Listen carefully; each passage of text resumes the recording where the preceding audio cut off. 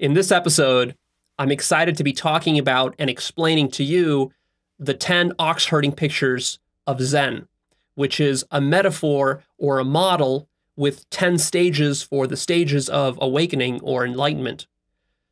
These 10 ox herding pictures, which we'll be talking about in great detail, I'll be showing you the pictures and what they all mean. Um, this is a model that emerged a long time ago, almost a thousand years ago. It emerged in China before there was even Japanese Zen, when it was known as Chinese Chan in the 12th century. So, really, really ancient. And there are various versions of this model out there, as you might imagine. They've evolved and changed. Uh, but I will be heavily relying on uh, not just my own insights and ideas, but uh, a rare book called The Lectures on the 10 Ox Herding Pictures. And here is the book. And this book is actually uh, an out of print book. It's very rare, difficult to find. I paid around $100 for this book. And if you try to buy it now uh, on Amazon or elsewhere, you might see it for sale for several hundred dollars. And it's a very small book, as you can see here. Very thin, it's only about 110 pages long, but it's filled with timeless wisdom, especially for those of us who are interested in non duality and pursuing awakening. So this wasn't actually written by Yamada Mumon. It was a speech that he gave. This was a lecture that he gave to his Zen monk students. So this is some of the most advanced wisdom because this wasn't just taught to regular people. This was to serious monks who were in the Zen monastery with him doing these serious practices. Um, so these are, of course, his words but also they were translated by Victor Sogen Hori. So credit goes out to him as well. Uh, Yamada Mumon is no longer alive. He died in 1988. So it's uh, precisely because this book is out of print and it's rather expensive and difficult to access that I wanted to do this uh, in-depth video about the 10 ox herding pictures where I will be quoting extensively some of the wisdom from this book. In fact, what I did is I just I took all the stuff that I underlined in this book as I read it, uh, and I'll be reading that to you here.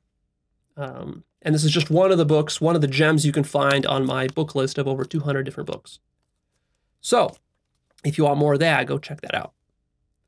So, uh, what are these uh, 10 ox herding pictures? This is a map in a certain sense, it's sort of like spiral dynamics. Like spiral dynamics is a map of different stages that you evolve through and grow through. Well, this is a map for the different spiritual stages or different stages of awakening that you go through. And Zen is not the only tradition that has this kind of map. So does Christianity. You'll find maps for awakening there. You'll find various maps in different forms of Buddhism, Tibetan Buddhism, and so forth. Uh, the Sufis have their own maps. Um, the Jews have their own maps. Of course, basically every single religious tradition has their maps because uh, they all understand that you go through different stages of awakening. It's not just one and you're done. There's more to it than that. And so that's where this model can be valuable is that it it helps you to see just how much more there is to it than you originally thought. It keeps you humble. It shows you that even after you've attained your awakening, there's still many stages beyond that that you probably weren't aware of. And it also helps to point out the various traps along the way. Now, this particular model has 10 different stages, but uh, of course, there's nothing special about this number 10. Various Christian models have five stages. Tibetan models might have six stages or three stages. Sufi models might have somewhere around there as well. So, I mean, you can slice and dice the process in different ways. You have to understand. So, there's nothing at all special about the number 10. Now, um, I want to give you a warning here before we get into it. This is a very advanced teaching. don't let the simplicity of it deceive you. It's a simple model, but there's so much here. And most people are not going to be ready for this wisdom because the highest wisdom requires that you be prepared and that you be at a certain ripe stage in your life where you are ready to get on the path, which most people are not, which is why with actualized.org I have many other lesser teachings. You see, I cover a broad uh, swath of different types of teachings, from very advanced ones to very simple and uh, uh, newbie ones, because not everyone is ready for the most advanced teachings. So let's begin. The first picture is searching for the ox. And the verse goes like this Beating around the endless wild grass, you seek and search. The rivers broaden, the mountains stretch on, and the trails go even deeper. Your strength exhausted and spirit wearied, no place allows you refuge. The only sound, evening cicadas shrilling in the maples. Every one of these images is going to have a verse that goes along with it. And then I will give my commentary, and then I will also quote from the Zen master himself, Yamada Mumon. So uh, this is stage number one. This is where most people are at. This is before you really understand anything about the path. This is you just stumbling around in life, trying to figure out what the hell is going on, suffering and uh, scratching your head and maybe you accidentally stumble into actualized.org and you see some of these videos, and maybe you hear some people talking about enlightenment or awakening or non duality, and maybe you've heard about Eckhart Tolle or you've heard about meditation. Um, maybe you've smoked some weed and you got a little hit of something, but basically you're lost and you're clueless. So, what does the Zen master say about this stage? He says, quote, there are people who lack the fire to bring light into their own future. They lapse into wishful thinking, hoping someone else will provide that light for them. Have nothing to do with this kind of thinking. You must resolve to create that light yourself. You must affirm the vow never to give up until you have become a Buddha and brought peace to this world. All of your practice is in vain if you do not make the affirmation of the vow. We are not saved by our Satori. We are saved by our affirmation of the vow that we must attain Satori, attain enlightenment. End quote. So, this is very important. A lot of newbies get it into their head that somehow the desire for awakening is wrong in and of itself, because, of course, they hear the platitude that all, all desire is wrong, all seeking is bad, and that you must end seeking. And so, of course, in their foolishness, they say, well, uh, well, that means I shouldn't even seek enlightenment. That means I shouldn't even begin the path. And this is the classic mistake that I like to refer to as burning your ship before you've used it to cross the river or the ocean.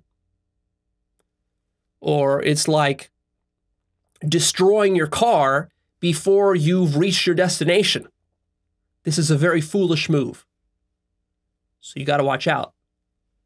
The path begins with a serious desire for awakening. Now, later, and we'll get there in a few more pictures, uh, later you will need to let go of that desire. But right now, you need that desire and you need it in spades. You need a lot of it. You're really missing it. So don't worry about seeking for enlightenment and how that's going to trap you in some sort of spiritual ego.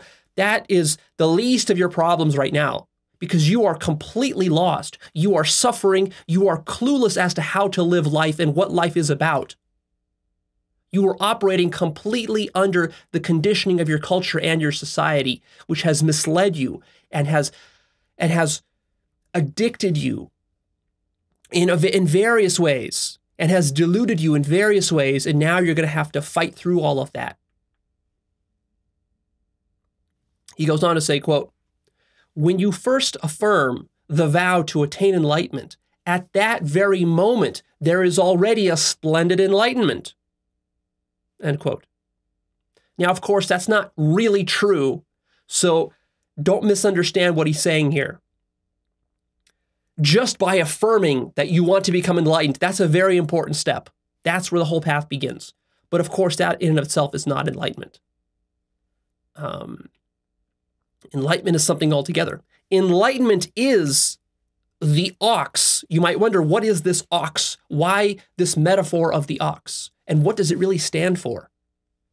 The ox is enlightenment. It's your true nature. It's the absolute truth. It's what you're seeking. It's the answer to everything you've ever want, wanted in life. It's the answer to all of your suffering. It's the answer to the purpose of life. It's the answer to what is death. It's the answer to what is reality. It's the answer to what is God. It is consciousness. It is your true nature. It is the awareness of God or absolute infinity, or void, or nothingness, or emptiness, or moksha, or nirvana, or mm, the big self, or the no self. So we have all these different words from all these different traditions. Ein Sof, and that's from the uh, Jewish tradition and then we have Allah from the from the Islamic tradition. We have Brahman from the Hindu tradition. So you have all these different words. They're all pointing to the ox. That's what you're trying to find. Now, uh, the Zen master goes on to say, quote, with discriminative thinking, you fall into the relative world. You jump into making comparisons. But discrimination only brings more discrimination which only brings more discrimination until finally you don't know what is what. End quote. And that's where you find yourself right now, is in this discriminato- discriminatory, dualistic mode of looking at the world. And it looks something like this quote, I'm happy or I'm sad. I win, I lose. That was good, this was bad. These are the flames of discrimination which blaze up around us like a conflagration, plunging us into an all consuming discrimination which traps us no matter which way we turn. You think to yourself, where do I find this thing called Kensho? And by Kensho, he also means Satori. These words are synonymous, and that's synonymous with awakening, just so you understand the, the Zen vocabulary here. And so he says, In your impatience, you may even start to think, ah, who even needs this Kensho anyway? I'll take my deluded self just as it is. Everyone experiences a time when he says, I can't do it. I failed. At this time, especially, you must not think to give up and return to your lay life, to the ordinary life of delusion. So, th- this notion that I sometimes hear quite often when people hear about awakening or enlightenment. It's like, ah, oh, Leo, but but yeah, all this all this seeking and searching, all this spiritual questing. Eh, I mean, what's what's the big deal? I don't want to get uh, you know, all hot and bothered about that. I, my life's not that bad. What's the problem, Leo? Well, um, you haven't suffered yet. You See, you haven't suffered yet.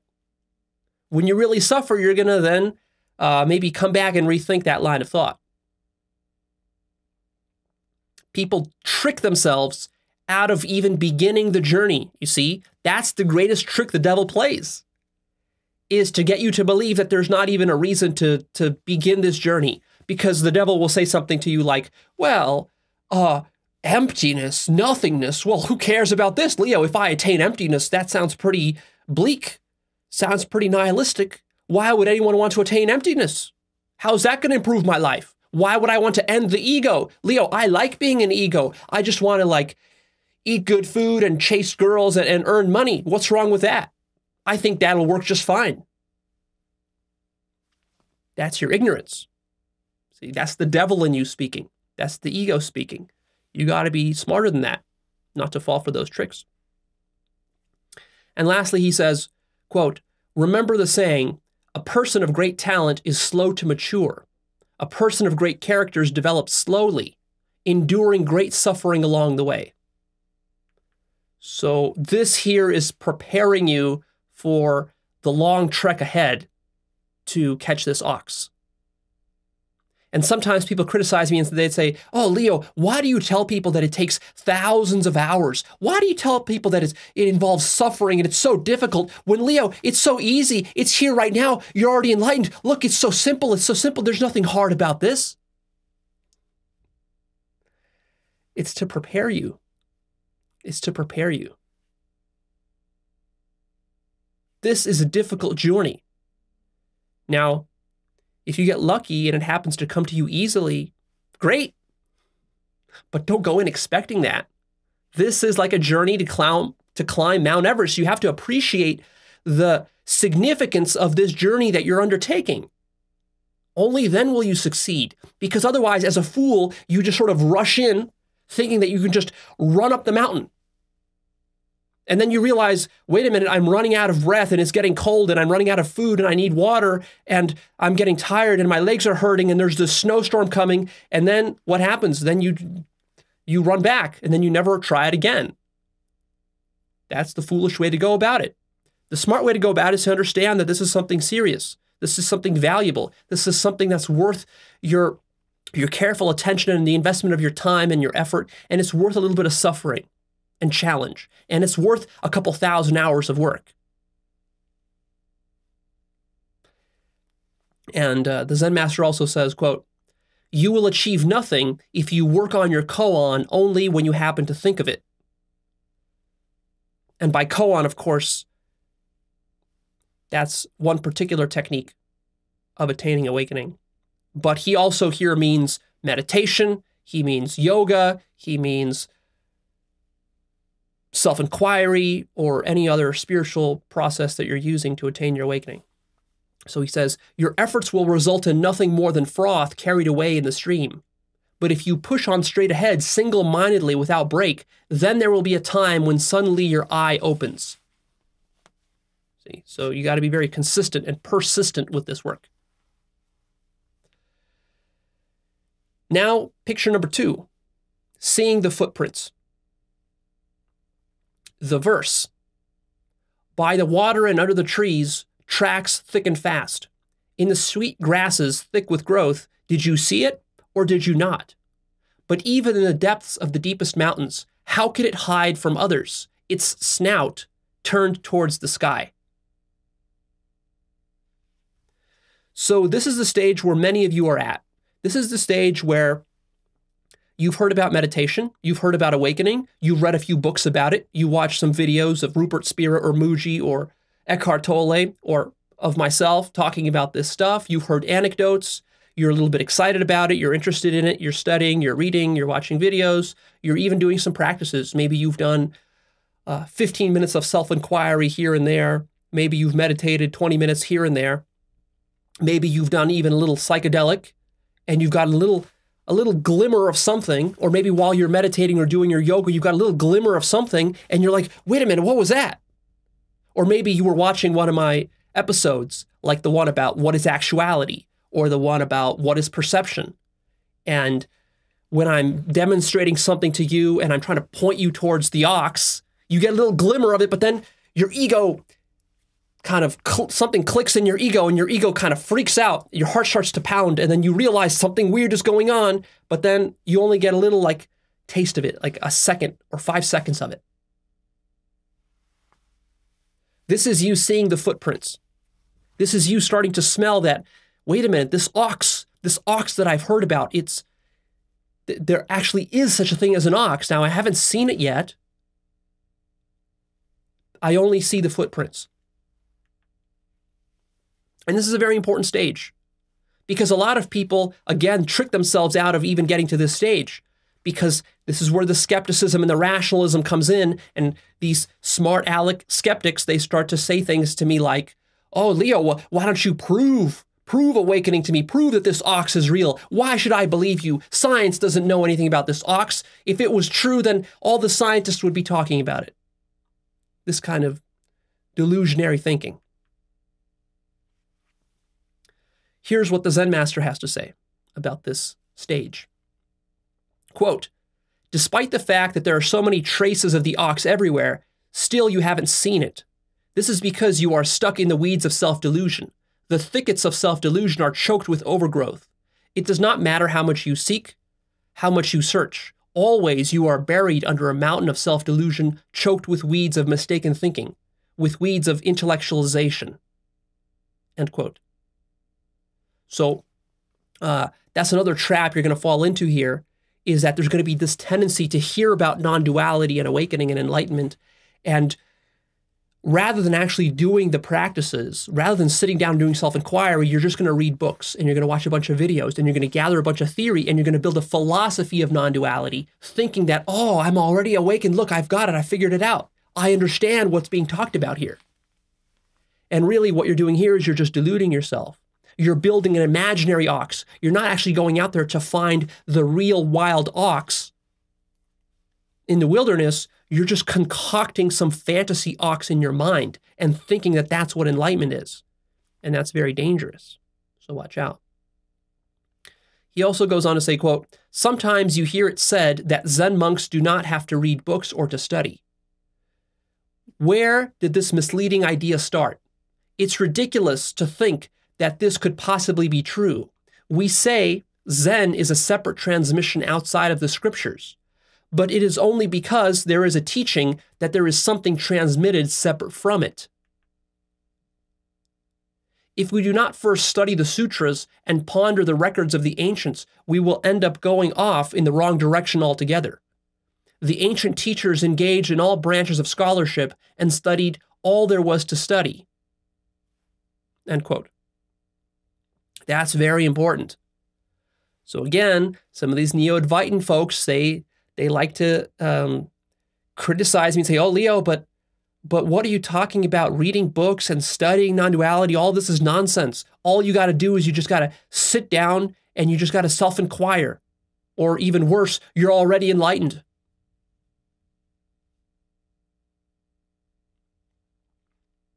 Well, the Zen master disagrees. And you have to understand that when I give advice, I don't just give advice from my own experiences and opinions. I ground my advice in hundreds of sources, high quality sources, not just high quality sources, but some of the most high quality sources ever, ever in human history. And one of these sources is the Zen master that I'm quoting to you right now. See? These people have decades of experience. They're not dilettantes, they're masters. And these masters understand nuances of these paths that ordinary people and even um, most regular teachers don't understand. So it's wise to listen to them. He also says, quote, in the Lotus Sutra, it is written that daily duties and attending to work is nothing other than true reality. When we do business, or farm, or do temple work, or engage in politics and economics, all of this is Buddha Dharma.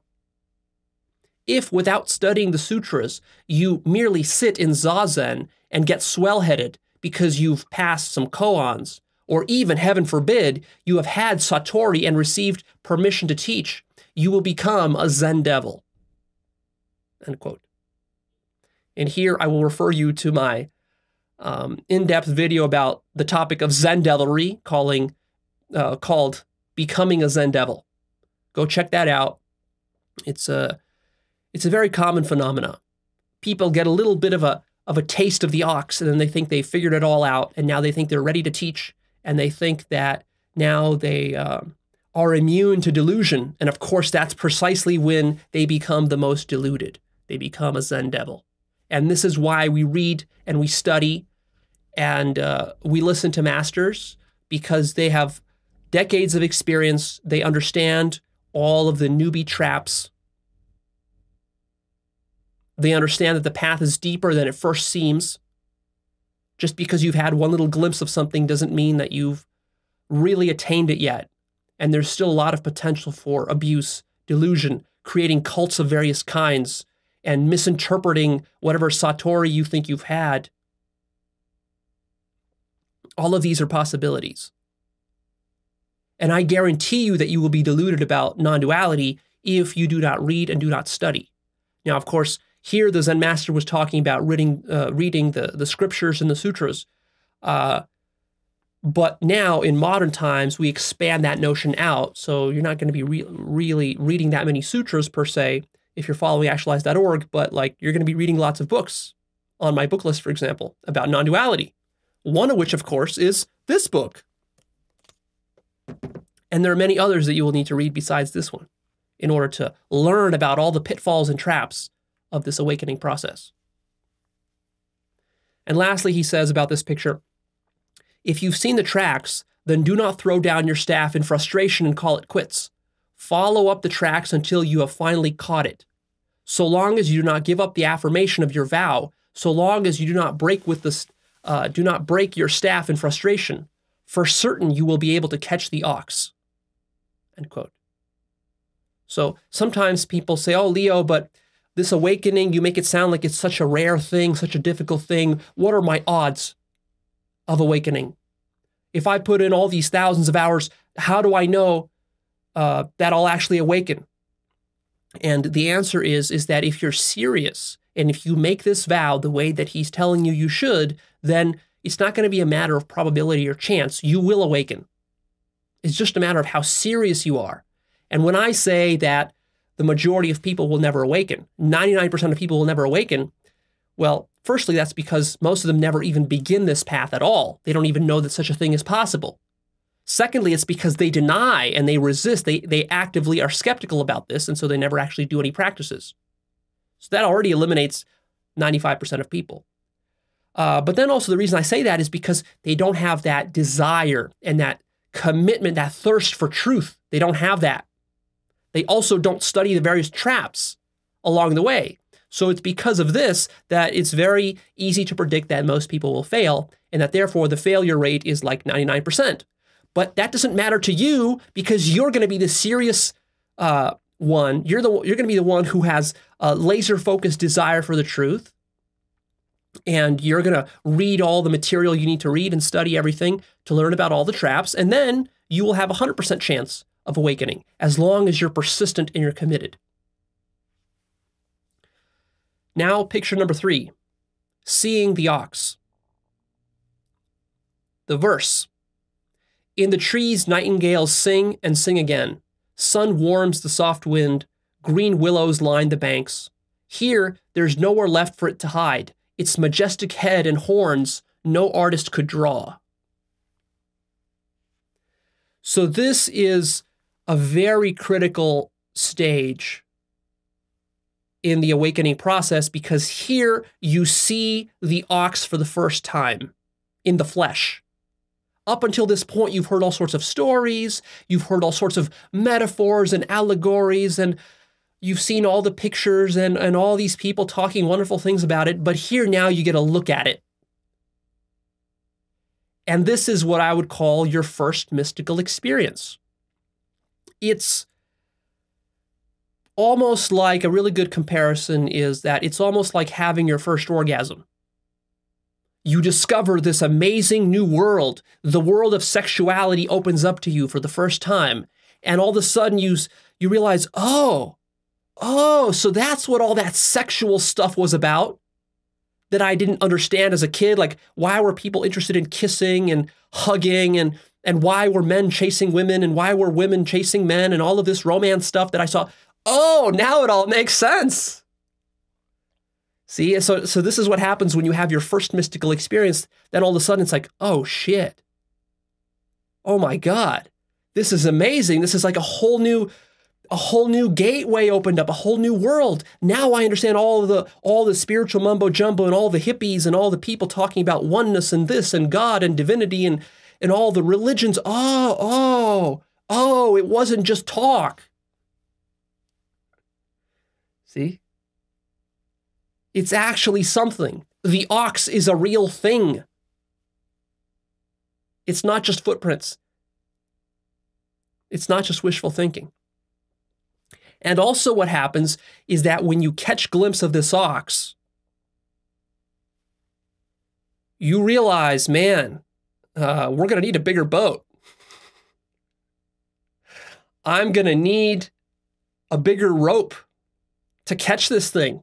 This thing is way larger than I ever imagined. This thing is a fucking monster. It's a beast. This changes everything. This is nothing like what I imagined the ox was like. It's almost as though you were chasing this ox and you thought this ox was like a chihuahua sized creature. And then you discover that this ox is actually a, a fucking dragon, a Tyrannosaurus Rex. And you're going to have to catch this thing. And so that can be a little bit daunting. Usually, what happens is that when you catch sight of the ox for the first time, it's so astonishing and so powerful, and it just hits you so out of the blue like a lightning bolt that it catches you completely unawares.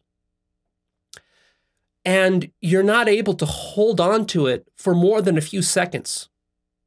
It freaks you out. It scares you. It terrifies you. It's awesome. It's so awesome, it's terrifying and then what happens is that you recoil and you quickly get back into your old ego self. And then you look around and like, where'd the ox go? Because you only caught a little glimpse of it. It's so magnificent you can't you can't stand to look it in the eyes. It's so magnificent and radiant. You're going to have to develop yourself just to be able to look this thing in the eyes. Let's see what the Zen master has to say about this. Quote Still, you have not really caught the ox.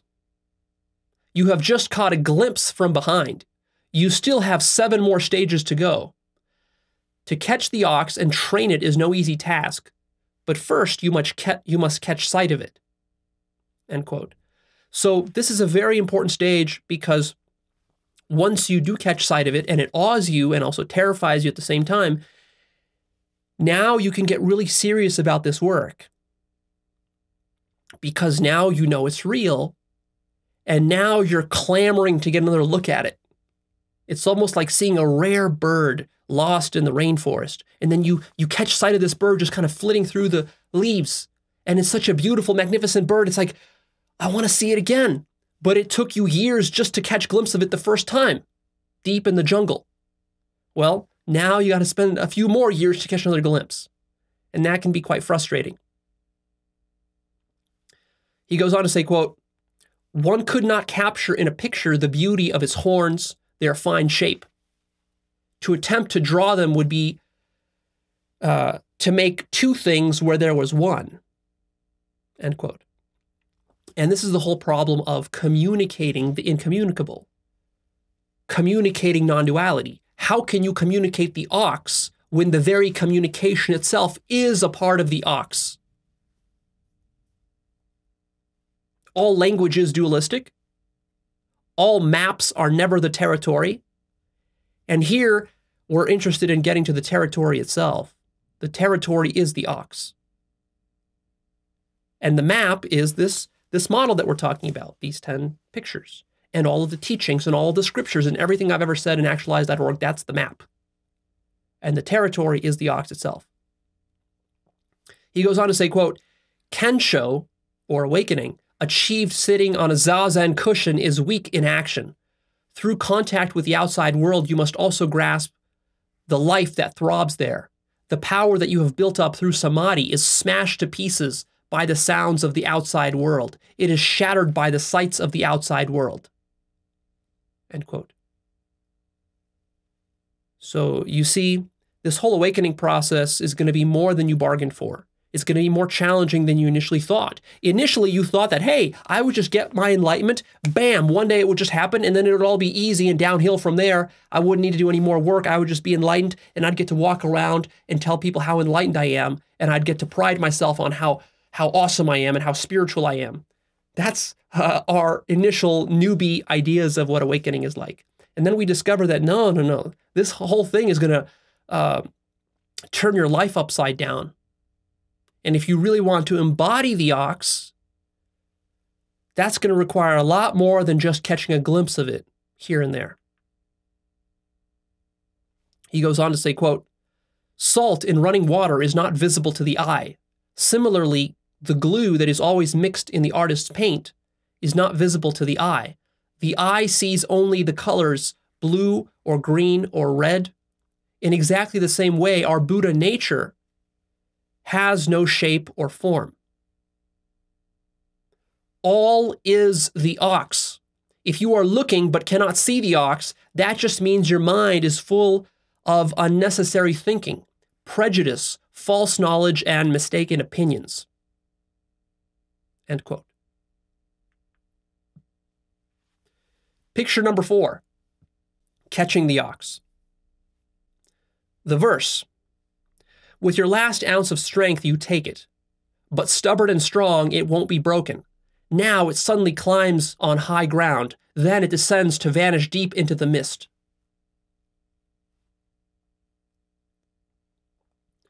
This is a stage where you're trying to catch the ox and own it for yourself. This is you going beyond the initial first glimpses and starting to really embody awakening in your everyday life. And also realizing how much more difficult it is to do that than you thought. Here's what the Zen master has to say Quote, just catching the ox is not enough. You must get a tight rope on it, tame it, and make it your own. A mind of thoughts and attachments can't possibly fathom the spirit of the ox that is called original face. With your head full of thoughts of good and bad, pretty and ugly, even should you seek out the spirit of the ox of Buddha nature, there is no way that you would be able to recognize it if you saw it. Don't deceive yourself into thinking that you can feed it your desires and attachments, your passions and self delusions. The ox of fundamental wholeness will run away at the mere smell of them. If there is even the slightest whiff of impurity, the ox won't touch the grass. The ox of fundamental wholeness detests even the smell of the actual. It is strictly pure. It hates the world of desires and attachments, passions and self delusions, and it will trot right off to the mountains. End quote. So here is where you're in for the sort of rude awakening that in order to really catch this ox, you're going to have to completely surrender yourself. Turn your entire psyche inside out. Your egotism stands in the way of you catching the ox and taming the ox. And so now you have to make a choice.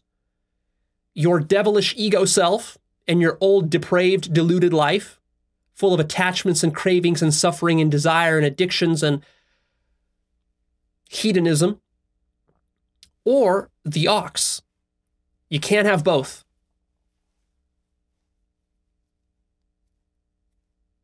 and you can't attain the ox so long as you have your fantasies about what spirituality is, what religion is, what God is, what the what the ox is, uh, what good and evil are, what the devil is, uh, uh, your various political ideologies and your your economic ideologies and capitalism and socialism and liberalism, conservatism, and all of this, all of this junk, all this fantasy, all of this social programming this you have to discard if you want the ox.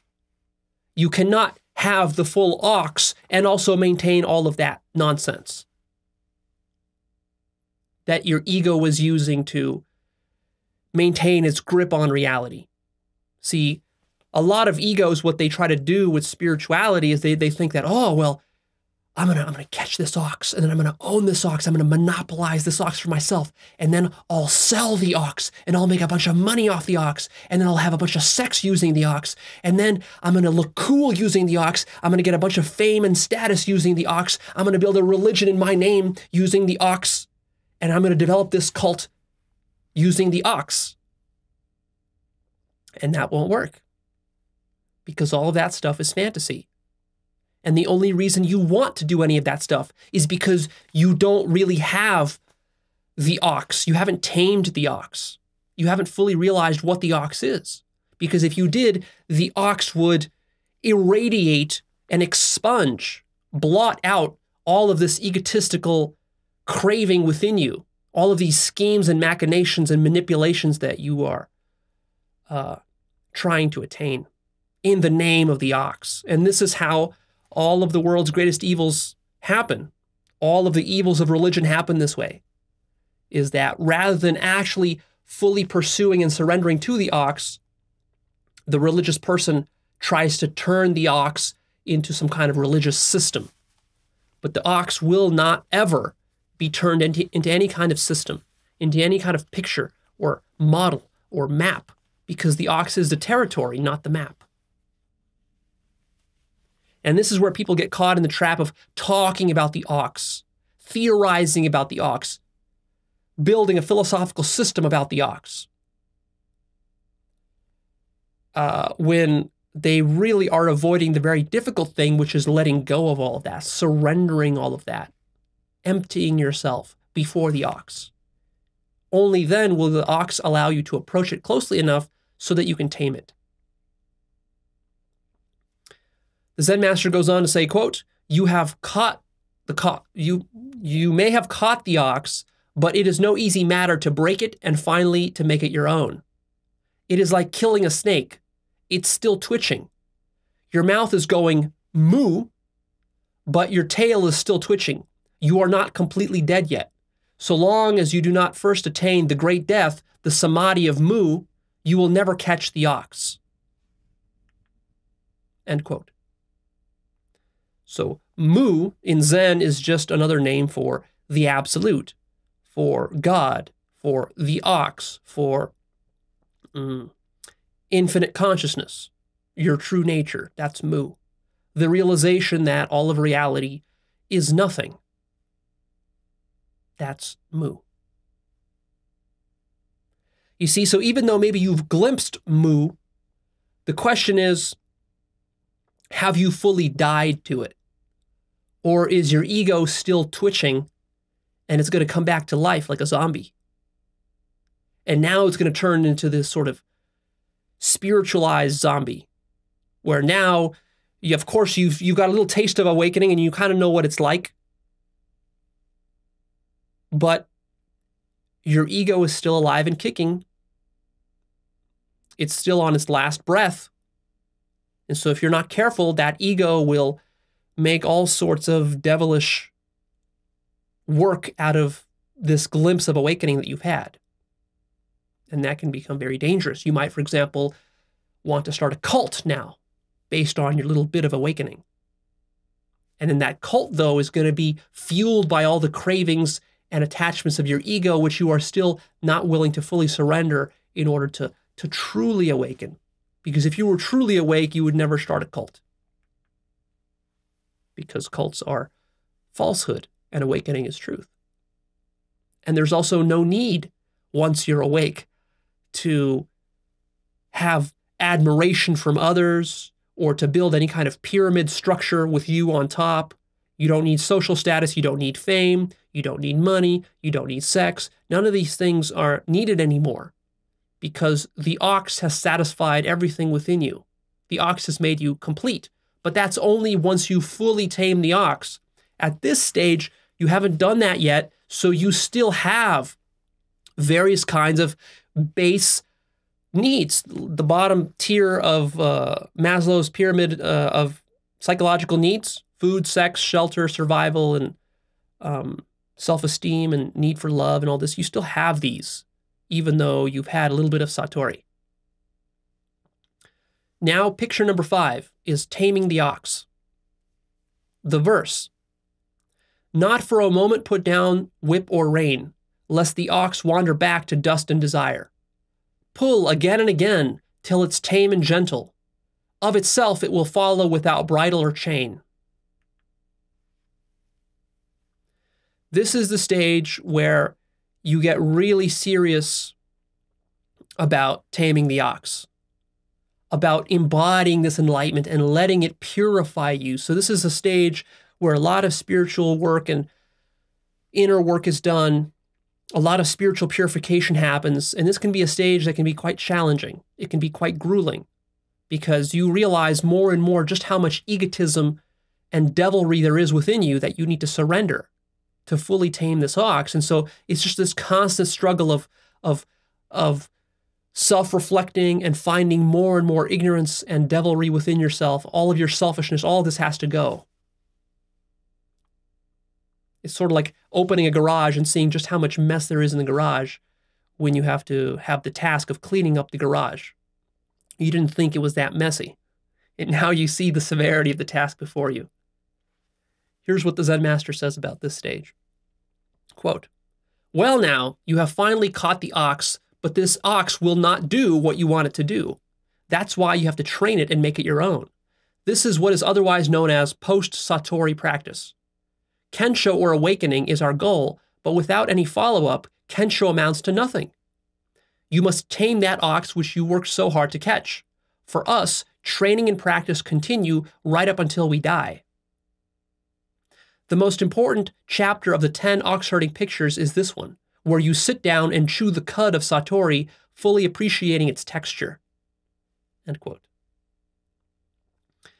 And this is another place where a lot of people get tripped up, especially if they follow some neo Advaitin teachings or teachers, is they think that, oh, okay, now I've awoken, I've had my Satori, and now there's nothing more to do, right? This is what separates the noobs from the masters. The master is the one who has gone through this entire process of letting uh, the awakening purify him of all of his selfishness. And that's usually a process that takes years and decades. And of course, that's why nobody wants to do it. And that's why it's so rare. And that's why masters are so valuable. It's very easy to trick yourself into thinking that once you've had your Satori, well, that's it, there's no more work to do. Leo, what's the point of any other kind of work? Well, then why do these Zen masters spend decades perfecting their Satoris? Because in practice, they have to. Otherwise, they're still going to have cravings and desires and all sorts of low consciousness needs and psychological hangups and shadow elements and all of this sorts of stuff. And that's what separates a great teacher from a mediocre teacher is that the great teacher has worked all that stuff out. And usually by that time, he's 50, 60, 70, 80 years old. He's like a shriveled little man. Uh, uh, not some strapping young lad, because it's taken him that long to really fully ripen and mature and to, to train this ox. The Zen master goes on to say, quote, you may search the world looking for truth, but there is no truth in the world. It arises from the heart mind. When the heart mind that is looking is true, then the world also is true.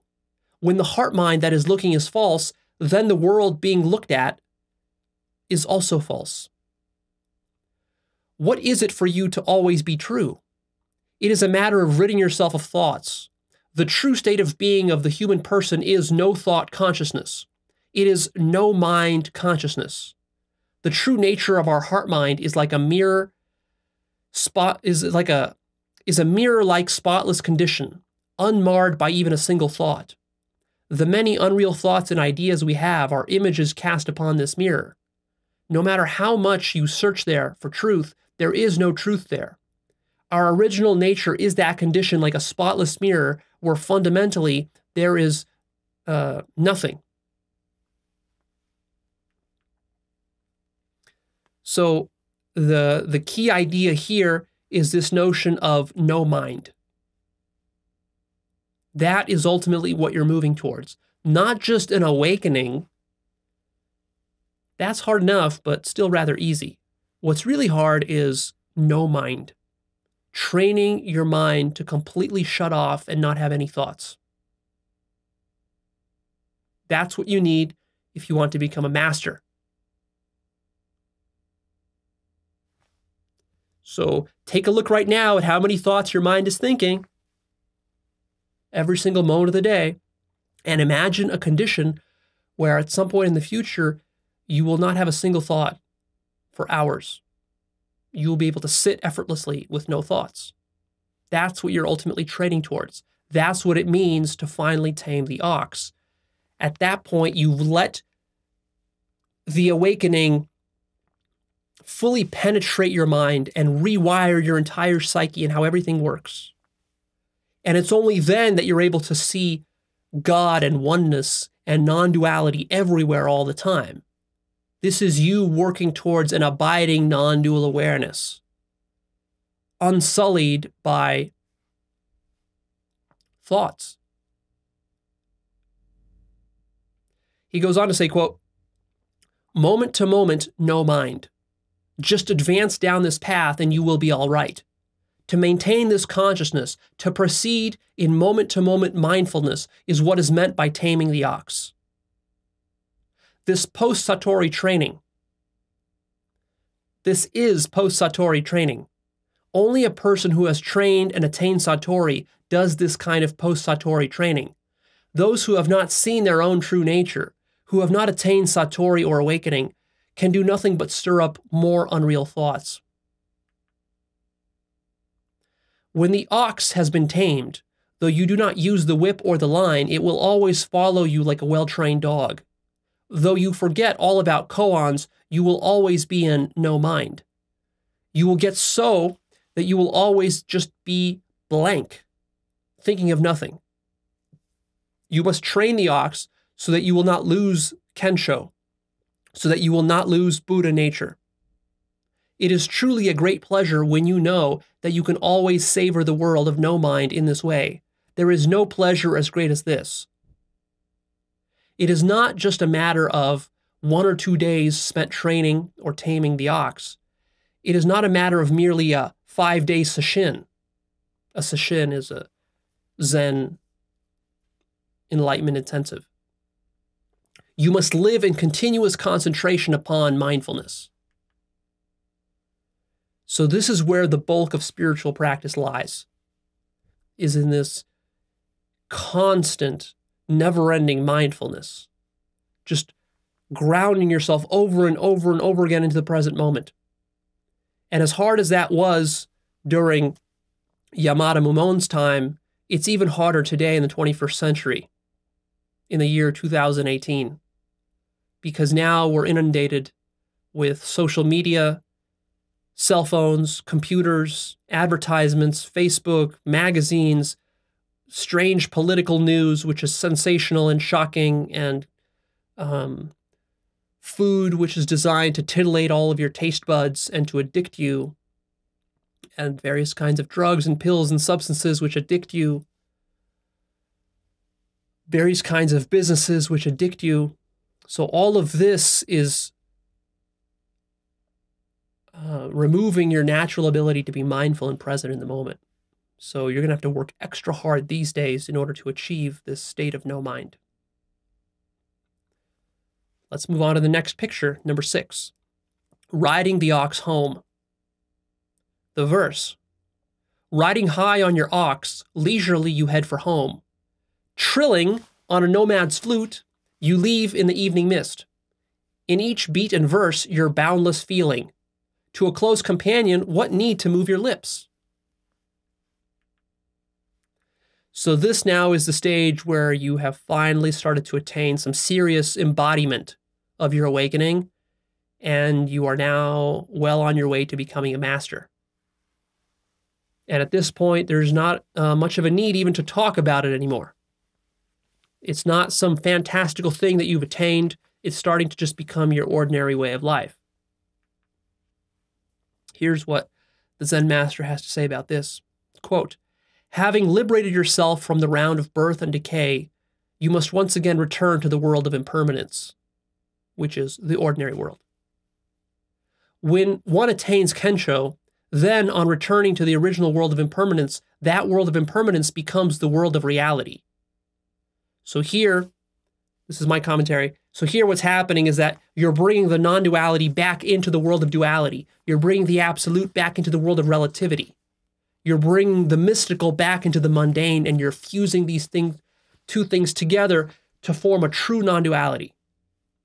And he goes on to say, to be right in the very middle of the ceaselessly churning, just this is the pure land of serenity and nirvana. One who refuses to to return is not genuine. In the everyday world of common sense, flowers are red and willows are green. But in Zazen, one destroys that world of common sense and enters a world where flowers are not red and willows are not green. But then one must not stop at this point. Only when you have returned to the world of where flowers are red and willows are green has one really attained truth. End quote. So here is again where uh, the true master is born, is when all of these lofty mystical states and samadhi experiences, when those are all fused back into your everyday life, and you can just walk and talk and cook your food and do your dishes and, and take a shower and do your business uh, in the world and engage in, in, in economic activities, uh, engage in relationships, and all of this still is infused with the non duality because you've really tamed this ox. Next, he says, quote, As training the ox proceeds, unreal thoughts fade away. The struggle between delusive passions and desire for enlightenment subsides. Both delusive passions and enlightenment fade away. Samsara and nirvana fade away. Person and ox fade away. Koans and zazen fade away. This is truly to be immersed in Kensho. Here you have reached the pinnacle of life. One who says, I want this or I want that, or I want to do this or I want to do that, is still wandering around in life's path. But when you have reached the peak, there is no need to climb anymore, no need to toil and sweat anymore. You just gaze up at the sky or look down at the world below. End quote. So it's at this stage that many enlightened people will give the advice to newbies wrongly that, oh, well, there's no longer anything to do, there's no higher to climb, there's no work to do. And so then they, they give that advice to a newbie, and then the newbie misinterprets that advice and thinks, oh, well, then there's no work for me to do. But that's only from the vantage point of someone who's already done an enormous amount of work. Decades of work have gotten gone in to bring a person to the point where they can say, Oh, I no longer need to do any work. I no longer need to sit on a cushion and meditate. I no longer need to do my yoga. I no longer need to self inquire. I no longer need to be mindful and to practice and to, to read books. I no longer need that. Yes, after you've exhausted all of that, then you're good. Sort of like once you've launched the rocket into outer space and it's outside of the Earth's gravitational pull, right? Yeah, you don't need rocket fuel anymore after that point. But when you're sitting on the Earth and you're trying to get up into space, you need a shitload of rocket fuel. So make sure you understand that distinction. He goes on to say, quote, those who still think about making money, about making a name in society, are wandering around at the halfway point. You worry about neither seeking Satori nor about extinguishing delusive passions. Cutting off all thought, there is no one in the world you think either nice or nasty. With the mind of no mind, you meet everyone as if for the first time. With that relaxed and expansive attitude, you casually leave everything to the ox so that wherever it goes, you feel at home. End quote. The next picture is number seven Ox Transcended. The verse Astride your ox, you've reached the hills of home. With ox put away, you too are at ease. The sun's risen three poles high, yet still you're dreaming. Your whip and line hang idle under the thatched eaves.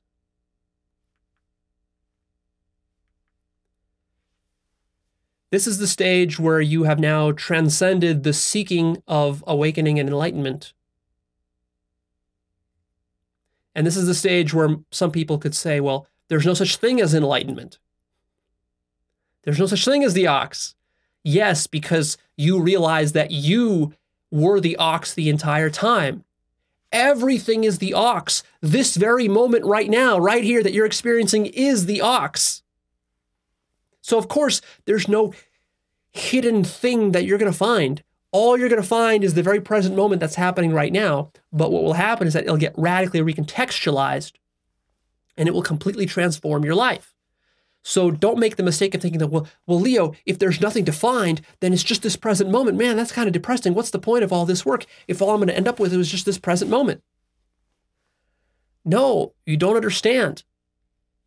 If you think that way, that means you still haven't found the ox. You don't realize what the present moment is. You don't realize the significance, the magnificence of this present moment. It hasn't actually been recontextualized for you.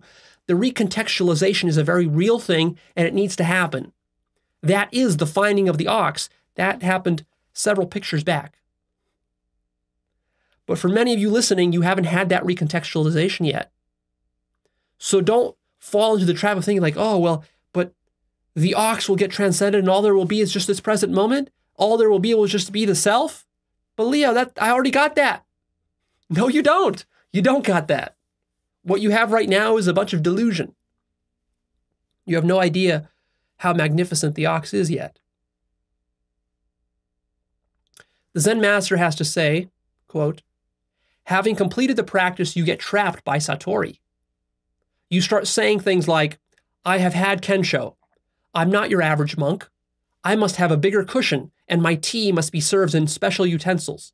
I have completed Zen practice, so that means I can now drink. I can do anything I want. In this way, Satori makes people into its servants and strips them of their freedom. This is what is meant by the phrase, fettered by the Buddha, fettered by the Dharma. This is why, when you have attained Satori, you must forget about Satori. When you become a rich man, you must forget about money. If there is any distinction between the self that has awakened to the Dharma and the Dharma to which the self has awakened, the awakening is not genuine. The self and ox are one. The ox pictured here is being used only as a symbol, as a convenient teaching device. And the search for the ox represents the practice and discipline required in seeking the Dharma. Don't get confused by this word Dharma. All this means is it just means it's it's the work of spiritual practice. It's the path towards enlightenment and liberation. That's basically what the Dharma is. So the path and the ox and yourself are really all one and the same. That's non duality. So all these boundaries that you thought existed, all these different categories and different objects, all of them get realized as absolute unitive non dual consciousness. He goes on to say, quote, in order to catch a rabbit, you must set a snare but the object is to catch a rabbit, not to catch a snare. When you have caught the rabbit, you no longer need the snare. The ox is used in the same way, as a means of achieving awakening to Buddha nature. We created a snare called the ox, but once you have understood Buddha nature, you no longer need the ox. End quote. See? And again, sometimes people make the mistake of thinking, well, if I don't need the snare, then that means a newbie doesn't need the snare either. But no, the newbie needs a snare because he hasn't caught the rabbit yet. A hungry person needs the snare. Once your belly is full of rabbit, you don't need the snare anymore. So it's very easy for a person who's just stuffed himself full of rabbit to tell the hungry person, oh, don't worry about rabbit. You don't need rabbit. That's only from the point of view from a person whose belly is full. From the hungry person's point of view, from your point of view, who's still trying to find the ox, it doesn't help. That advice doesn't help. You need to build a snare. You need to glimpse this thing called an ox. Zen master goes on to say, quote, Once a student came to me and asked, What is the purpose of life? When I replied, To play, he was disappointed. Just to play, is that it? He asked and went away. Once you have reached the last station at the end of the line, there is nothing to seek. All one does is play. Here, to have things is fine. Not to have things is also fine. To live is fine. To die is also fine. To be happy is fine. To be sad is also fine. If it rains, that's fine. If it shines, that too is also fine. Every day is good. Every day is good. End quote. That is liberation. That is unconditional happiness. Happiness which does not hinge on any kind of external circumstance. Again, newbies sometimes make the mistake of thinking, uh, but Leo, if I'm going to be happy under all circumstances, whether I'm rich or poor, or whether I have sex or not, or whether my kids are healthy or not, if I'm going to be happy under all of those circumstances, then what's the point? But you see what you're setting up there is you're, you're setting yourself up in a in a sort of rigged game where you can never win. Because by definition, then if you're if you're rejecting unconditional happiness, that means that you what you want is you want to be suffering half the time. And of course, that's exactly what you've got is a life that's half suffering and half good. So what liberation means is precisely that you take yourself out of the equation of life you realize no self. And then what you realize is that once you're dead, once the self is dead, and that is what we're talking about here, we're talking about suicide in a sense. Not in the physical sense that you think that you're going to harm your body, but we're talking about the suicide of the notion of a self or a you. That's what awakening is. That's what the discovery of the ox is. But why is that so magnificent? Because once you're out of the equation, then all there is to life, once you're dead, in a sense, is there's pure positivity. Everything is bonus. Everything is just sort of a cherry on top. Nothing can ruin your day because you're dead. You're not attached to anything anymore. You have nothing to defend anymore. You're not trying to defend your life, your body, your self image, your social status, your wealth, or uh, your notions of religion or family or politics or government or anything. You're not you're not defending anything anymore because you've surrendered everything so completely that now it's sort of like your nihilism has gone full circle, and at the very uh, end of nihilism is an inflection point where the nihilism then explodes into just infinity.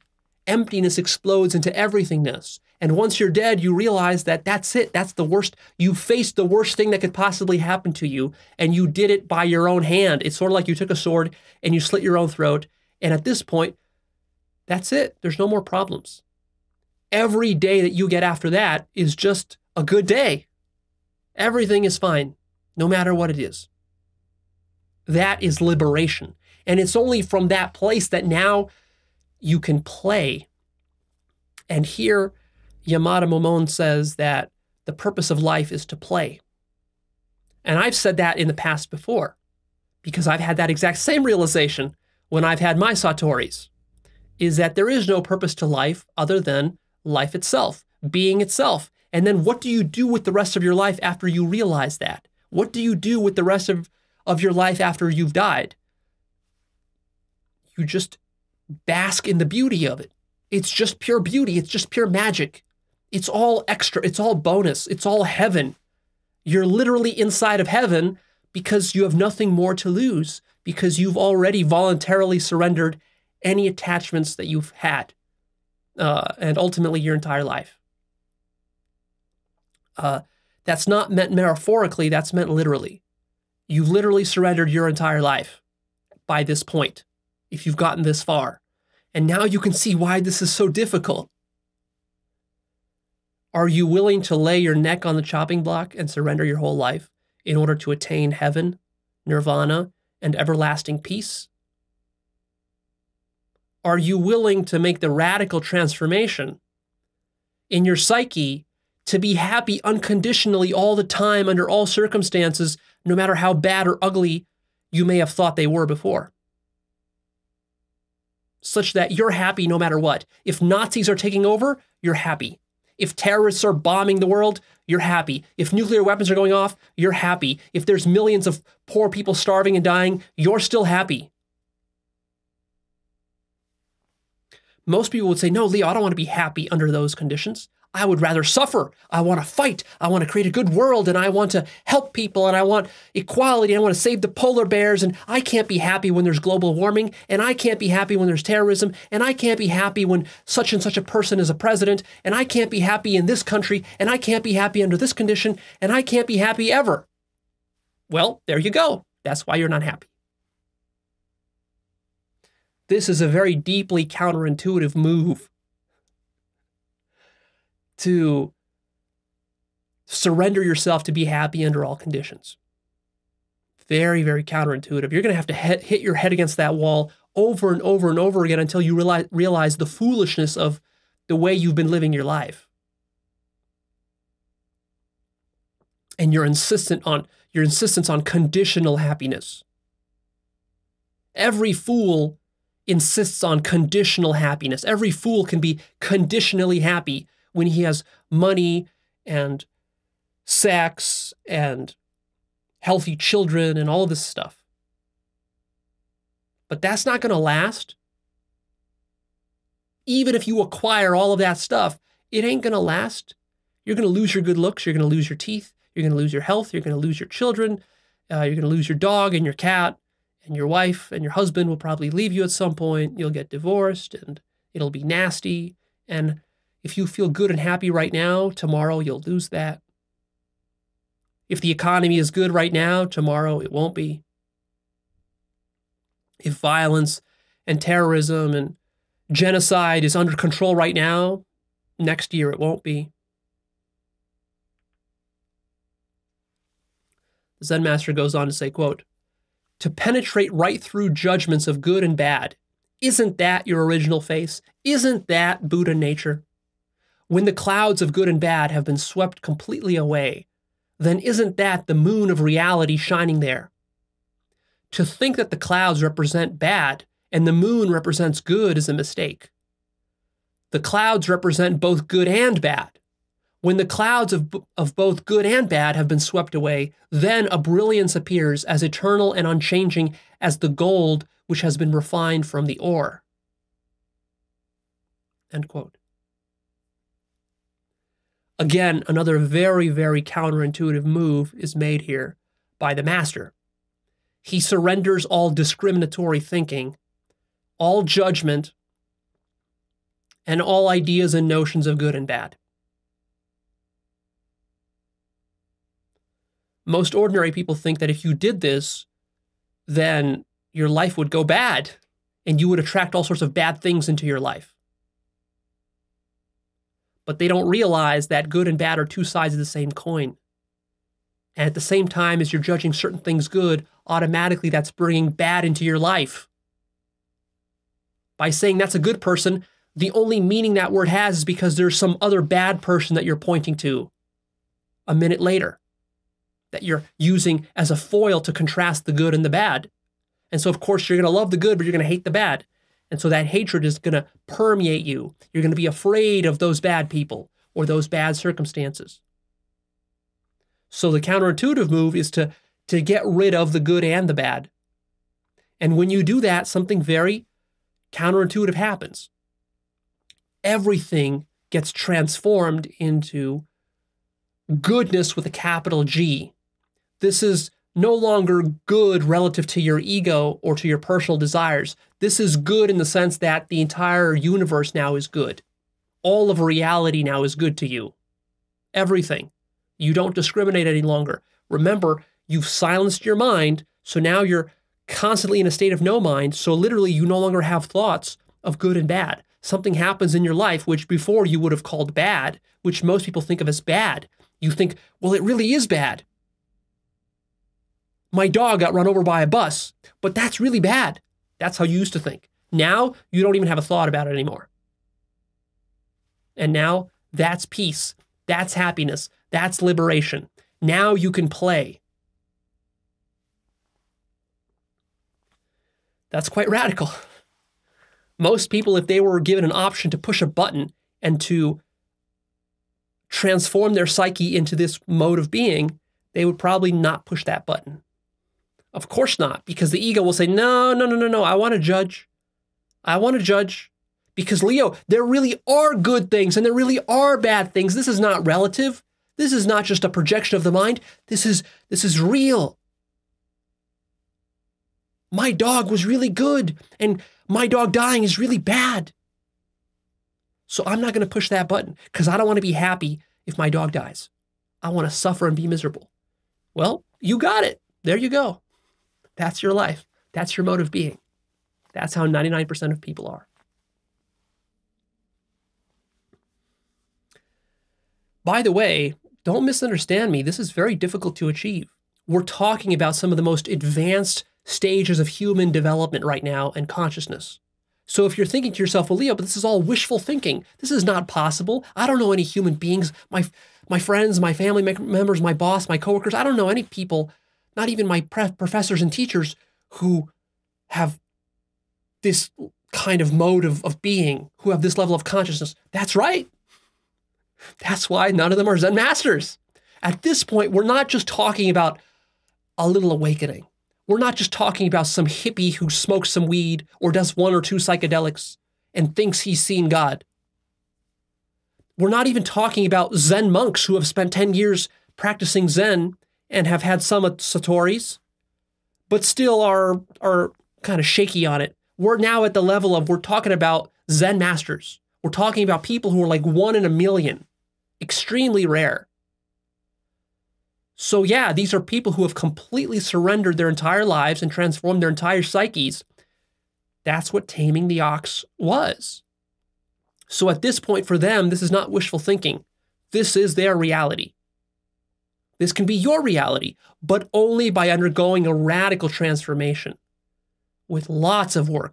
To get to this point would require thousands of hours of work 5,000 hours, 10,000 hours, 20,000 hours. That's what we're talking about to get to this level. Just so you understand, don't create a limiting belief out of this, but just so that you have a, a realistic idea of what it really takes. In the same way that if you came to me and you said, Leo, I want to become a brain surgeon, what do I got to do? I would tell you, get ready for 10 years of grueling study and residency after residency after residency and cramming for test after test after test and working in hospital after hospital after hospital for thousands of hours, many, many thousands of hours, 10 years at least, then you've got a shot at becoming a brain surgeon. Right? That's not a limiting belief. That's just the reality of what it takes to become a brain surgeon. And to, to fool yourself into thinking that you can become a brain surgeon by reading one book and watching a few YouTube videos and maybe operating once on a dead cat that you found on the side of the road, and now you think you're a brain surgeon, well, you can see how that leads to all sorts of disaster. And it does. In spiritual circles, definitely leads to disaster. This is where you get teachers and, and so called fake gurus and frauds who create all sorts of cults, who lead people down bad roads, who, uh, who run various kinds of scams and pyramid schemes. And um, even though they might be trying to teach you spirituality, they themselves are still deluded and they will teach it to you in the wrong ways. And then maybe they will sexually abuse you, molest you, psychologically manipulate you, or try to start a religion of their own, use it to aggrandize their ego, all this sorts of stuff. That's what happens.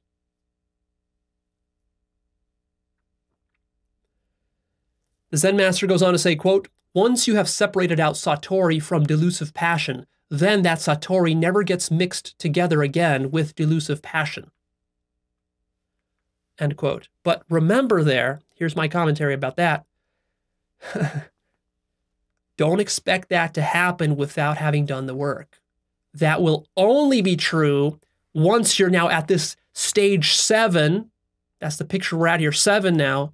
Once you're at stage seven, after years and years of work, now finally you've separated out your egoic delusions and devilry from Satori. And now it will stay that way. But it won't stay that way after your first Satori. After your first Satori, those things will get mixed back together. And in fact, that devilry within you will try to co opt the Satori and use it for its devilish purposes. Now let's move on to picture number eight. The ox and the self, both transcended. The verse Whip in line, you and the ox all gone to emptiness. Into the blue sky for words too vast. Can a snowflake survive the fire of a flame pit? Attain this and truly be one with the masters of the past. So, um, this is a very advanced stage. This is where basically you transcend everything, you surrender everything. The Sufis might call this stage Fana al Fana, the passing away of the passing away. Everything passes away. The ox passes away. All of your techniques pass away. Meditation pass away. Yoga methods pass away. And even the self passes away. And all of your ideas about non duality pass away. All effort passes away. It's a complete emptiness, which is why this picture is just a blank circle. True emptiness.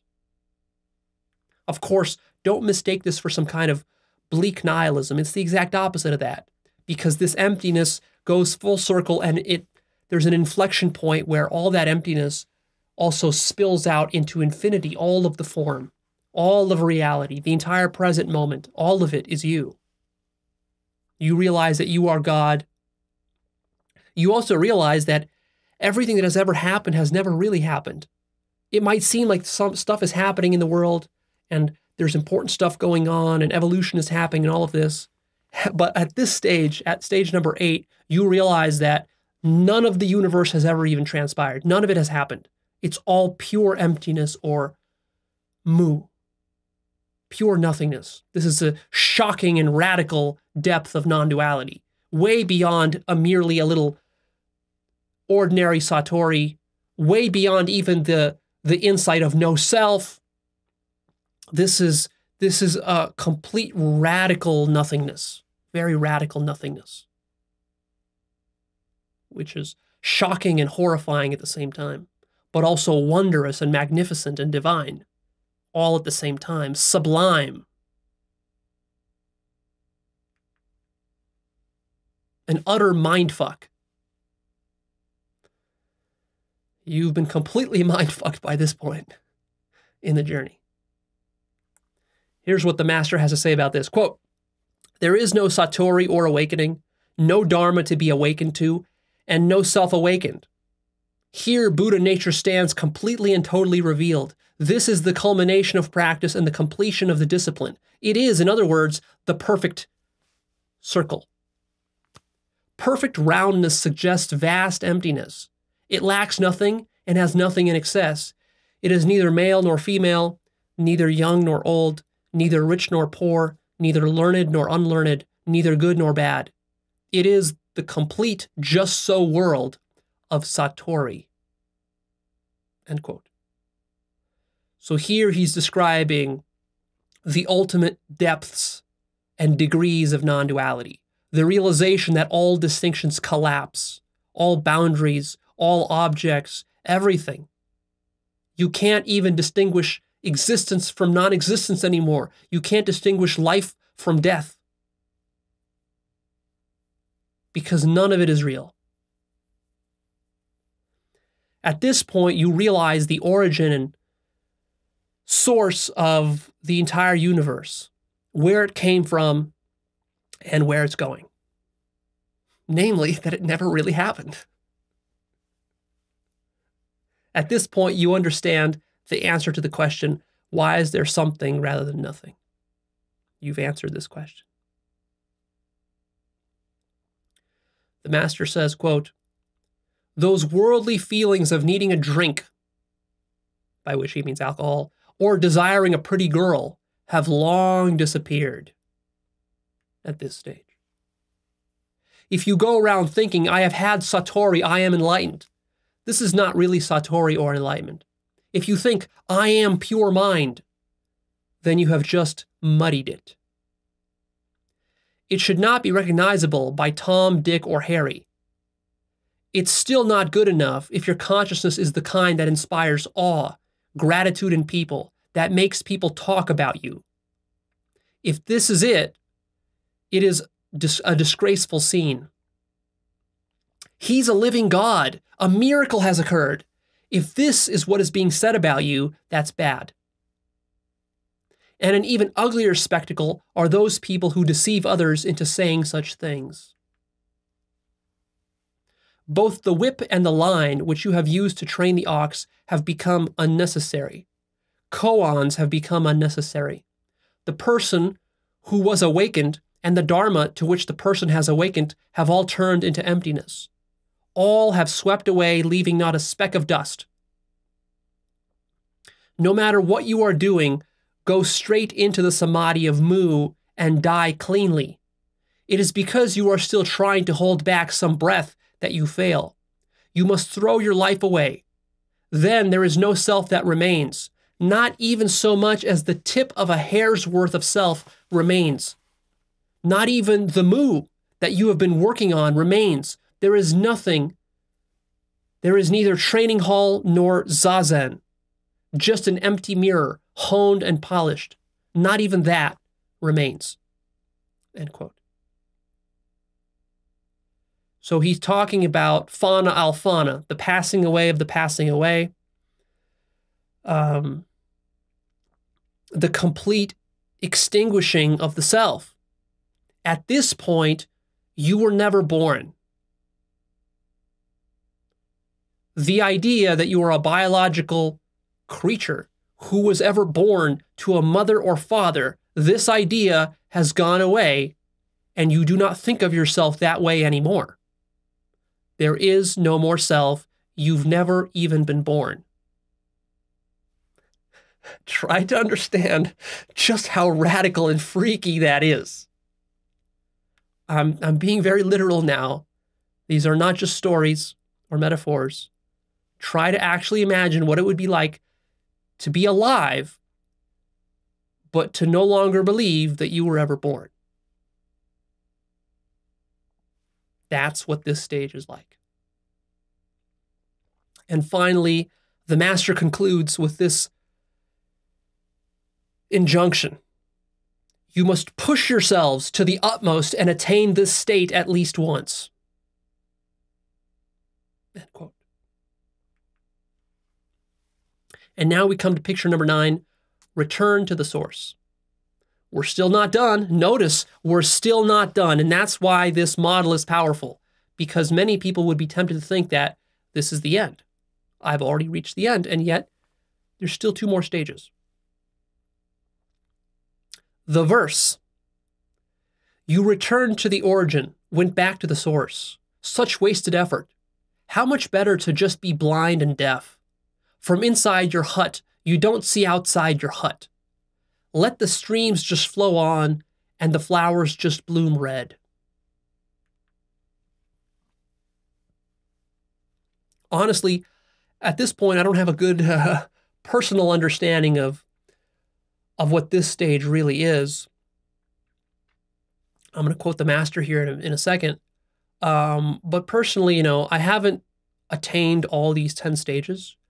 Uh, I've had various glimpses of these different stages, and especially because I've used psychedelics, very powerful psychedelics, which of course are not really accounted for by this model.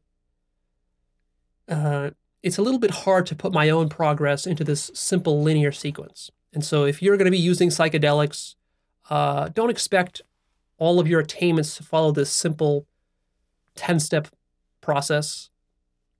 Um, so I still have a lot of work to do. I still anticipate a decade or more work that I have to do to, to really fully embody and tame the ox.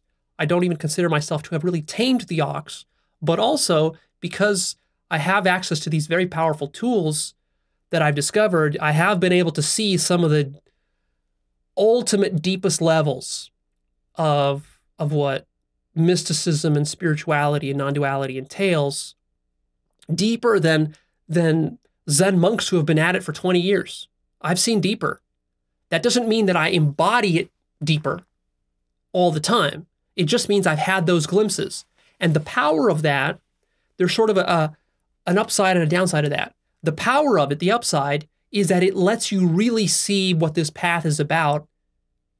And that makes you very motivated. And it also helps you to understand various traps that exist. And it also helps you to see just how much further there is to go how deep this thing goes and that so few people have actually gotten to the very end of it.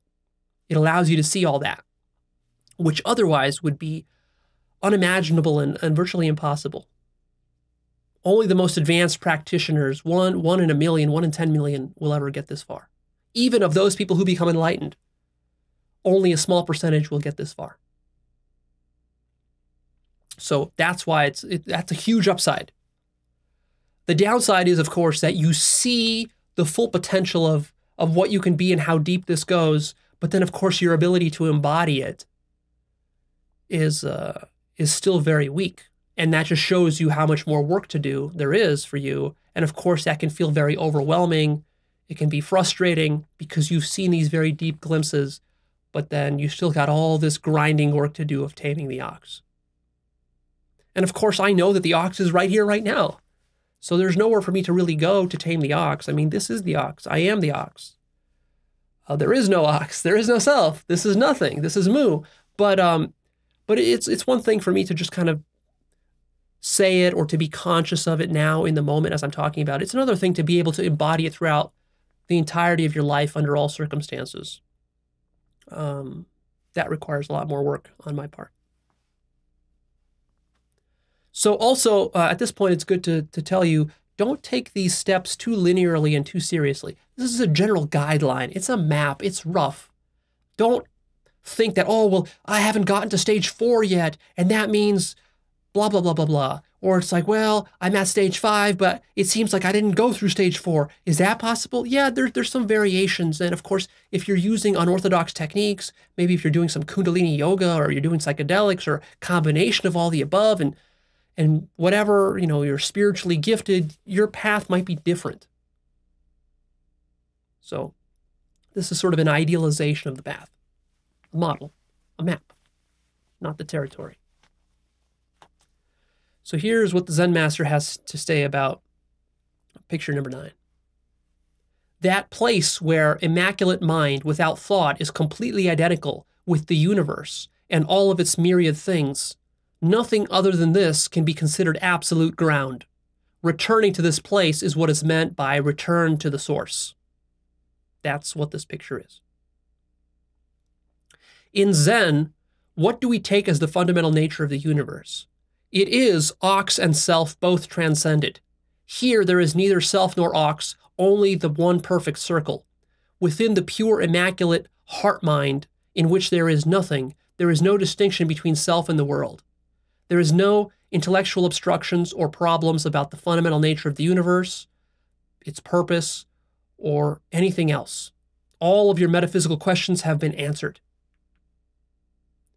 When you have gained Satori, then the world we live in, just as it is, is the pure land, is heaven. After Satori is the same as before Satori. End quote. And that is sort of the ultimate realization of non duality. Now, I know that's the same thing I said in the previous picture as well. So you might be wondering, well, Leo, it seems like in every one of these pictures, you're saying that the ox and the self, it's all one. So what's the difference between all these different pictures and all of this, these different levels of oneness? Is it different degrees of the same thing, or what are you talking about? Well, this is where it's a little tricky. Is that yes, there are sort of like different depths of realizing the oneness of everything. At first, maybe you realize that you are one with the whole universe, and that's a big epic mindfuck and very revolutionary for you.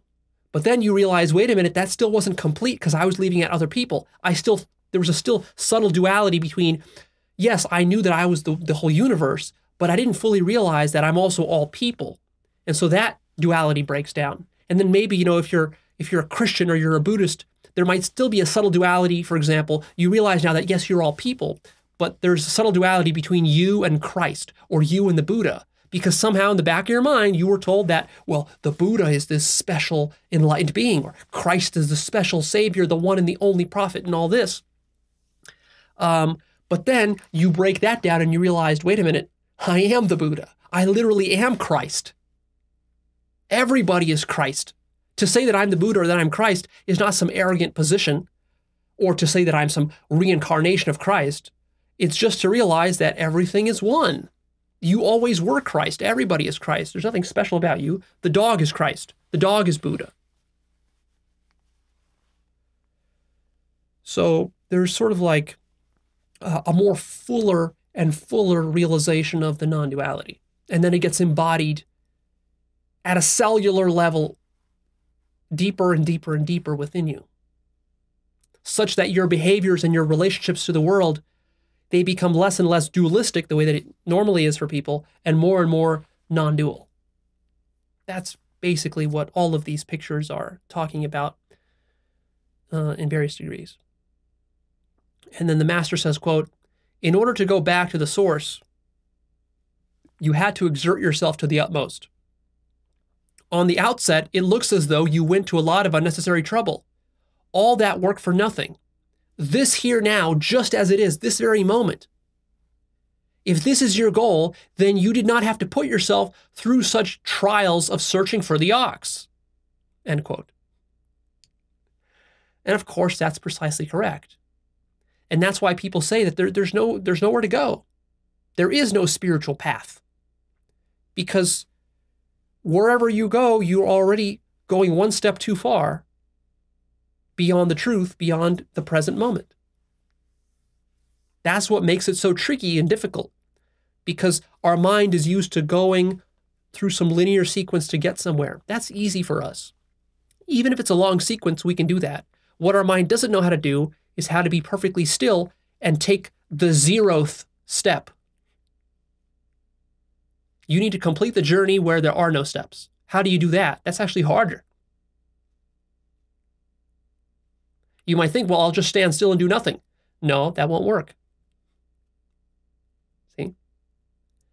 Because uh, by doing nothing, what's going to happen is you're just going to go along with the currents of society. Society will just carry you away.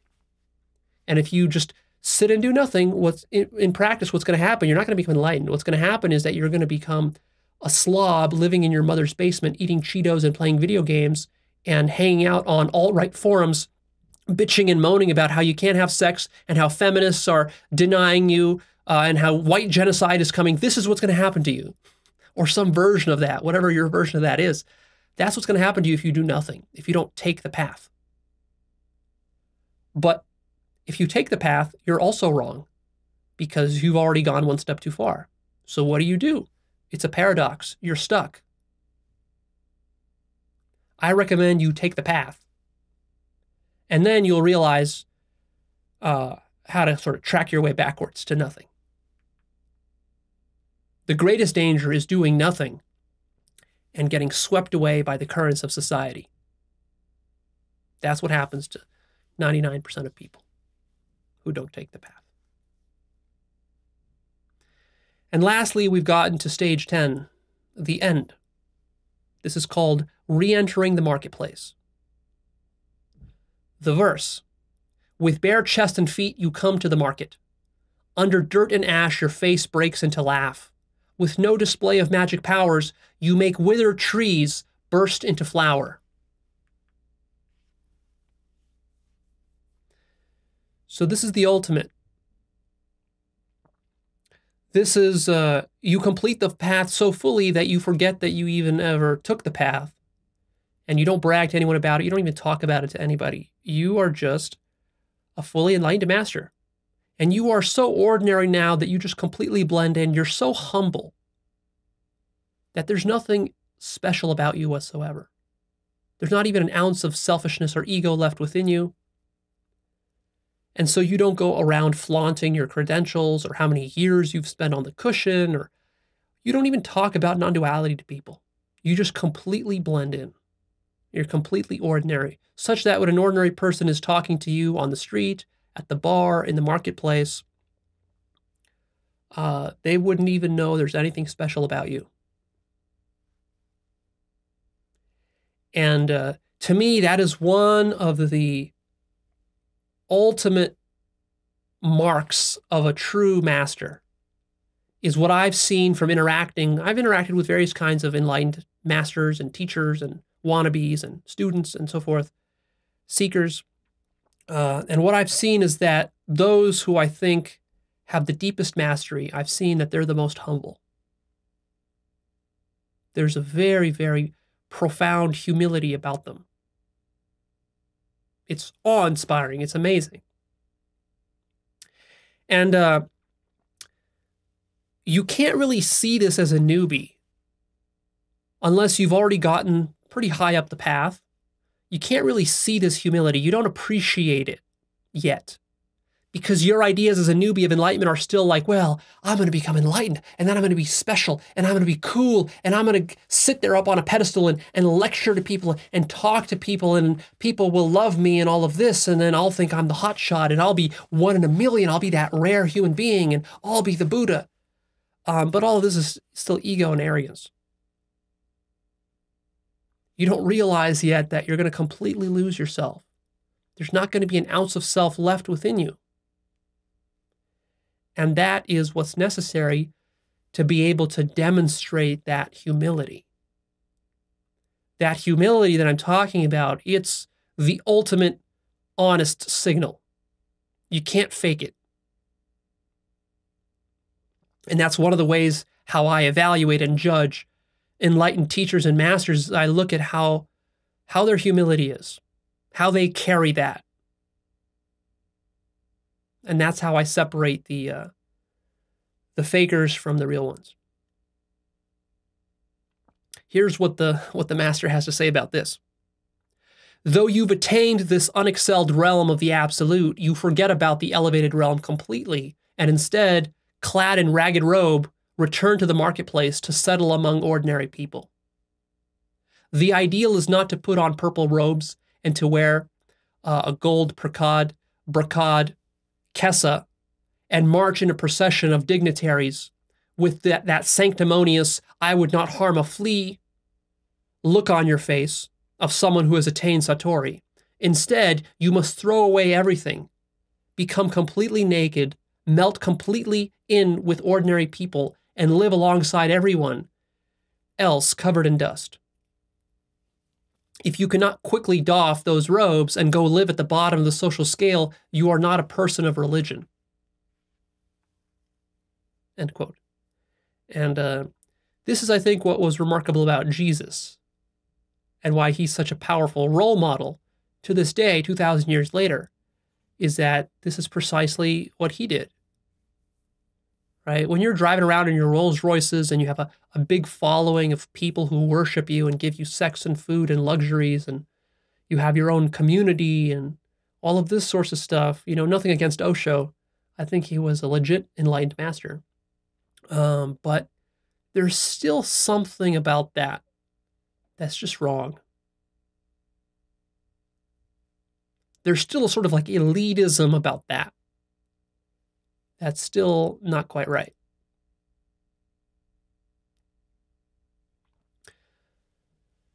Yamada Mumon continues and says, He needs no shirt. He needs no title, exposing his hairy chest down to his navel. Barefoot, he walks the streets of town or heads for the outskirts. Since people will be nervous if he shows that he has attained Satori. He does not reveal that he has mastered the discipline, nor does he show any trace of learning. He just laughs, laughs like a great fool, daubed with dirt and covered with ashes. That laugh, how could you describe it? He laughs so hard you think his jaw would fall off. People who come into contact with that laugh return to their original good nature and awaken to their Buddhahood. Though he does not preach or lecture, everyone who sees the old monk's face is saved. Just by laughing and smiling, he leads those who are rough and coarse in heart to discover the light in their lives. He does not preach miracles, he just laughs. He just drinks with them, he just sings with them. When you have reached this highest awakened state, where the world just as it is, is the pure land, is heaven, where you yourself, just as you are, are the Buddha, then you must throw away Satori, and for the sake of those in suffering and distress, descend to the bottom of society, to the furthest corner of society, and awaken everyone else to this pure land as well. And that is the end of the path. So now you know what you're in for. Yes, it can be a little bit daunting. It's a lot more than you bargained for or that you initially thought. In a certain sense, we have to sucker you into non duality and enlightenment. Because if you were told all the trials and tribulations up front of what this path entailed, you would probably be scared off and you would just kind of um, go back to your old ways. You would never even begin. But by this point, you're probably already in past the point of no return.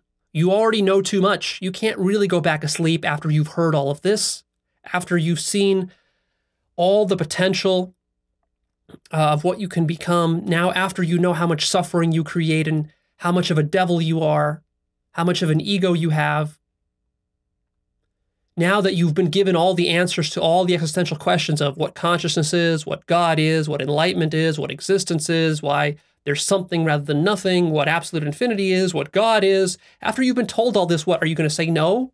Are you going to say no, I'm just going to go back to eating Cheetos and and jerking off to porn and playing video games? No. This is what you've been born to do. To awaken. To realize mu. To get to the 10th picture. That is the purpose of life. So, make your vow. Go back to step number one and make your vow. Hone your desire and start following the footsteps. And get excited about meeting the ox. Will you be wise enough to follow this advice? You were extremely lucky to stumble upon this recording, however you got here, through whatever confluence of accidents and events, somehow you ended up here. And this, you know, deep down in your heart, you know that this is exactly what you've been looking for. This is your path. You can feel that it's right for you. You might be scared. You might be confused. You might not know all the details and how all of it will work out. You might not know what this means for your family, for your love life, for your relationships, for uh, your finances, for your business. But none of that matters because the most important thing is knowing what the path is. Knowing what the highest priority thing is. Once you've got that, trust that everything else will fall into place. Yes, it will be difficult. Yes, there will be fear. Yes, there will be obstacles. Yes, you won't know what to do. Yes, you'll be confused. Yes, there will be suffering. The counterintuitive thing about the spiritual path is that it promises you the liber- it promises to you the liberation from all suffering. And it will deliver upon that promise, but only after a long trial of ever increasing suffering and suffering and suffering. And then one day that suffering will just drop to zero. And so you need to be able to keep yourself motivated and encouraged and to console yourself while you're climbing up the mountain and you're going through all the trials and tribulations and obstacles and all the threshold guardians. You got to keep consoling yourself that it's going to be worth it. And how do you know that? Not by trusting me, but by feeling into your heart. Your heart will tell you that this is the ultimate path for you to take. And how will you know that's true? Because you'll be scared shitless of what this will mean for your life. Because you are laying your neck on the chopping block. And if you want a little bit more insight about that, go check out my episode called The Ultimate Hero's Journey, or I forget what I titled it. The True Hero's Journey. I think that's it. Yeah, search for Hero's Journey. And uh, you will find my explanation of, of, of that and uh, that will that will help to comfort you in your trial uh, in your trials and tribulations as will this episode here. There is an enormous amount of wisdom contained in this episode and in this book. If you can find this book, I definitely recommend buying it and reading it. Even if you have to pay $100 for it, it's totally worth it. But if you can't, uh, I have distilled the nuggets of it for you here. Uh, the only question is will you be wise enough to follow this advice? Only about one in a million will be wise enough to follow this advice. And an even smaller number will be able to complete all 10 of these pictures in their own life and to fully actualize um, their awakening. So, what I recommend is that if you're going to be on this path, you return to this episode here and you review the wisdom laid out by this Zen master. Maybe you reread that book if you have it once a year, just to refresh yourself and to keep yourself on the straight and narrow path, because you will be tempted to diverge in various ways. And that's exactly the value of having a master in your life is that he keeps you on the straight and narrow path.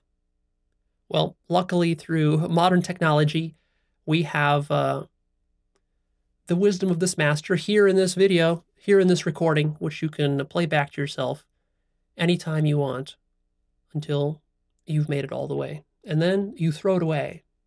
You don't turn it into an ideology or a dogma. Remember, all of it you're going to burn away, throw away. And that's the end.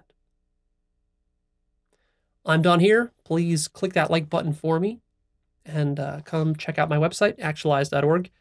There you will find my blog, uh, the forum, the life purpose course, and the book list. My book list, if you're still on the fence about buying it, uh, it's very affordable. But uh, really, what you get for it is you get a bunch of gems like this book. Many, many more of these are on there. Books that will transform your whole life. And uh, I'm still adding more to it. I've updated my book list at least five or six times since I released it. I try to update it about twice a year, so make sure you check back. There's probably more books there that um, you should check out. And the books that I'm reading these days are the most powerful books, the most wise books, because I've, I've read so many books at this point, hundreds of books, that uh, most books these days, if I try to read it, I can't even finish it because it's just not a very high level of wisdom. I already possess more wisdom than most of these books have. But I still read because you never know when you've missed something. I still got to keep myself humble. And there's still great books that I find out there. Um, and so I'll still be adding more in the future. And it's the ones that I add in the future that you really want to look out for because those are the ones that are going to really be juicy. So check that out. The updates that I do every year are free for those who've purchased the book list. So it's a very, very good value. Other than that, stay tuned. In the future, we may cover other models of awakening. Maybe we'll cover the Sufi model or the Christian model or some Jewish model.